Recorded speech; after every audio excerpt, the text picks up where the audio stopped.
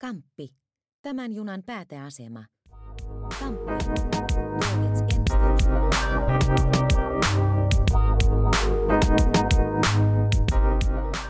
No ideahan on ollut se, että tänään ollaan päällystetty näitä Ruttupuiston puita neulegraffiteilla.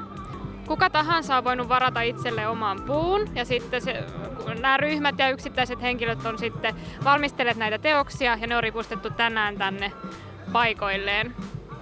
No puita on varattu, oliko se 65? Ja nyt paikalle tänään on tullut laskelmieni mukaan 63 tekijää, eli aika hyvä prosentti on niin sitten vielä tullut paikalle ja tosi hienosti ja paljon näitä puita. Mä haluan ehdottomasti, että tämmöistä viedään eteenpäin ja tämmöistä tulee niin kuin paljon lisää. Neulegraffitithan on semmoinen äh, harmiton katutaiteen muoto, koska ne ei mitenkään vahingoita sitä kohdetta. Nämä kaikki saadaan otettua pois ja nämä kaikki ripustuttu sillä lailla näihin puihin, että ne ei vahingoita puita mitenkään. Niistä ei ole mitään haittaa kellekään. Ehkä ne ovat vain viihdyttämässä ja ilahduttamassa ihmisiä. No mun pitää tunnustaa, että mä oon vähän laiska neulma, mutta mä tykkään tehdä tämmöisellä neulekoneella juttuja, kun sillä saa nopeasti tehtyä.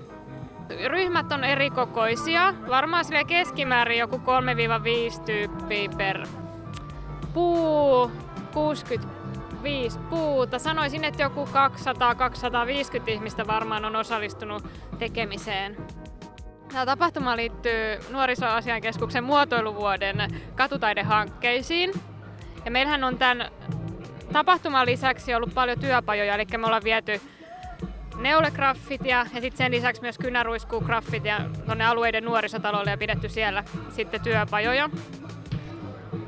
Ja mun mielestä nyt kun katsoo tätä, mitä, miten ihmiset tekee täällä hommia ja mi, miltä tämä koko puisto näyttää, niin mun mielestä tämä on just sitä, mitä muotoilupääkaupunki vuoden pitäisi olla tai mikä on sen niin kuin tavoite. Eli ihmiset on tekemässä täällä kaupungista oman näköistä. Jokainen voi osallistua omalla tavallaan. Aivan mahtavaa. Nyt kun me vietetään tätä Helsingin design pääkaupunkivuotta, niin oikeastaan kaikki tämmöinen niin kuin rosous ja kaikki tämä ihmisistä lähtevä luovuus, niin se on oikeastaan otettu Helsingin brändiksi. Nyt kaikki rakastaa sitä. Nyt tämä on niin kuin automaattinen osa Helsinkiä ja tämä on jotain semmoista, mistä me kaikki ollaan ylpeitä.